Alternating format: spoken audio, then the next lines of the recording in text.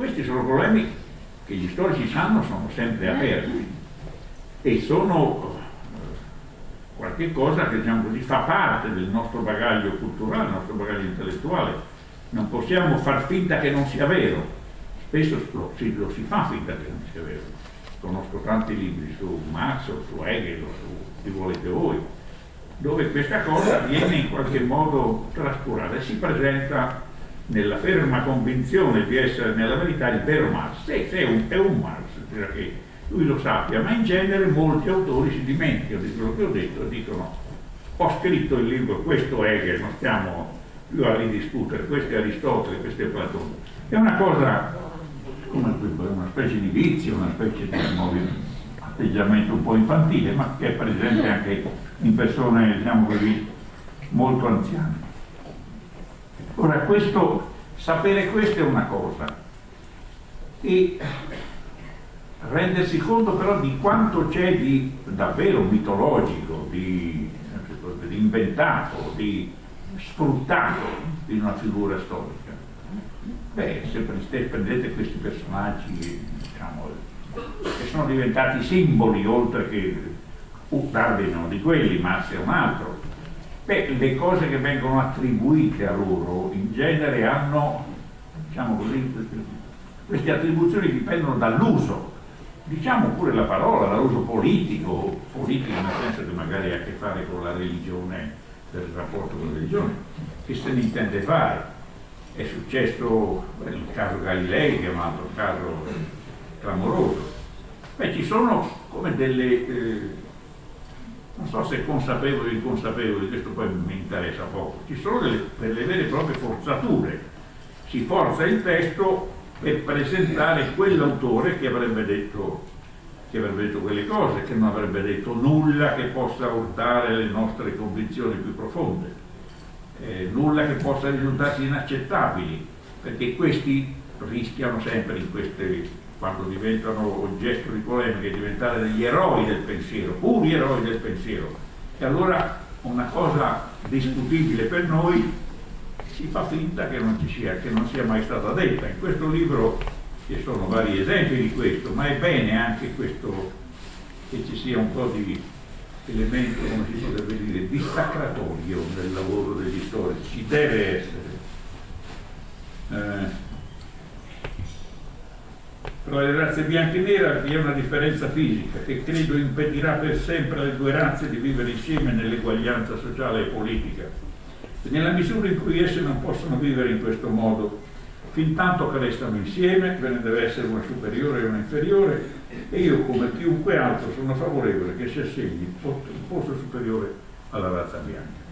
Questo non è uno sforzo razzista, come avrei in mente di dire, ma è un discorso del 18 settembre 1858 di Abraham Lincoln.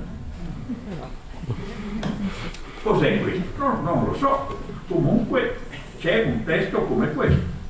che ci dice che le cose sono sempre un po' più complicate di come crediamo e che non si può eh, assumere delle posizioni che negano di principio possibilità di questo genere. E ce ne sono nel libro, ce ne sono molte, è inutile adesso elencarle, ma è, eh, ma è significativo cioè che c'è sempre come la parola che mi piace, la metafora che mi piace, che, della quale sono impadronito, ma dicendo che è di un altro, ma poi non è di un altro, è di Descartes addirittura, quindi si può saccheggiare il classico. Dice The past is a foreign country, il passato è un paese straniero è la metafora che usò Descartes primo che disse chi si occupa di storia è come uno che viaggia in paesi stranieri, alla fine conosce quelli ma il suo paese non lo conosce più, quindi non conosce più la cosa importante, la vita nella quale... Ecco, voglio dire, questo è, è qualcosa appunto che il, passato è pieno di imprevisti, ecco, si trovano tante di queste cose come questa che vi ho detto di Lincoln, che è molto impressionante perché Lincoln è il nome della, del liberatore, e sembra impossibile che l'abbia scritta. Quindi la storia è piena di cose abbastanza contraddittorie, difficili, che stanno insieme a fatica e, e non si può piegarla ai propri fini.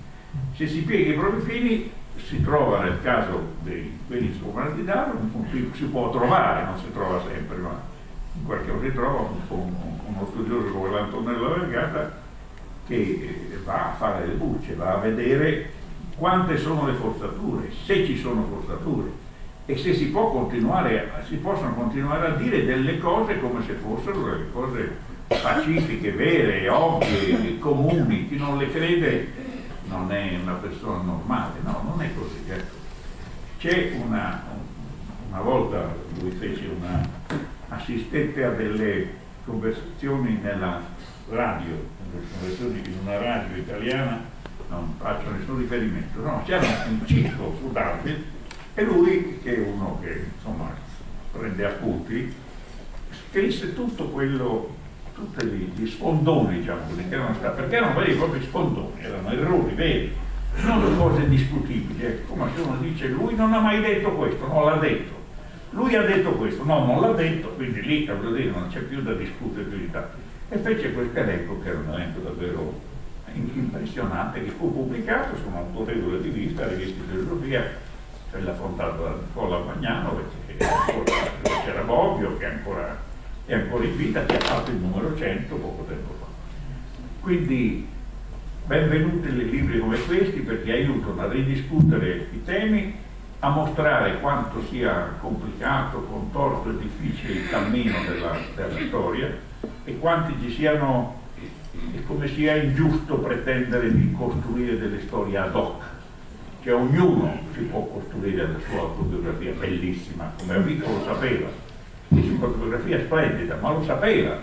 che stava costruendo un'autogiustificazione, una presentazione di sé. Ognuno di noi può raccontare la sua vita con questo, con questo stile, giustificando tutto quello che ha fatto e trovando una ragione che giustifica quello che ha fatto. Però se la scrive un altro e gli storici sono quell'altro, la cosa cambia, ecco, si, si vedono cose che non si vedevano. Ecco, la storia almeno come la consideriamo serve a, principalmente o a, a, questo, a riuscire a vedere cose che finora non si sono viste, se no perché racconteremo sempre la, le, perché continueremo a occuparci di peccato? Perché ognuno di quelli se no spera, a volte a torto, ma di vedere degli aspetti nuovi e questi nei classici ci sono, perché ci sono quelli che noi chiamiamo geni, geni, geni, non i geni della genetica, i geni di geni, come Newton, come Descartes, come Einstein, quello che volete voi. Cioè quelli che hanno visto cose nuove, allora sarebbe difficile far capire cosa hanno visto. E con questo ringrazio Antonello per questo bellissimo libro che serve molto in un momento così difficile come quello che stiamo attraversando relativamente al modo di giudicare e di valutare l'arte. Grazie.